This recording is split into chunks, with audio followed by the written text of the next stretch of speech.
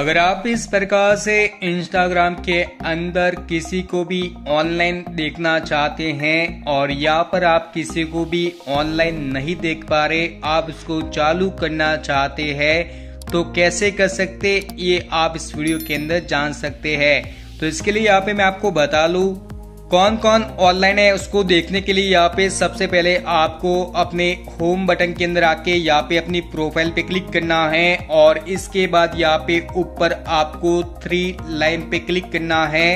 और इसके बाद यहाँ पे आपको सर्च करना है। सो so, और इसके बाद यहाँ पे आपको पहला ऑप्शन मिल जाता है जहाँ पे लिखा है सो एक्टिविटी स्टेटस तो आपको इस ऑप्शन पे क्लिक करना है और यहाँ पे यदि आपका ये ऑप्शन बंद है तो यहाँ पे आपको चालू कर लेना है। अब चालू करने से क्या होगा कि आप भी किसी को भी ऑनलाइन दिखते हैं साथ में कोई भी व्यक्ति ऑनलाइन है तो यहाँ पे मैं आपको बता लू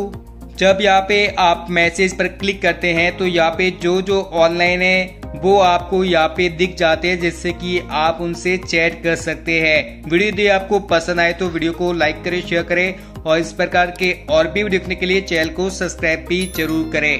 Thank you.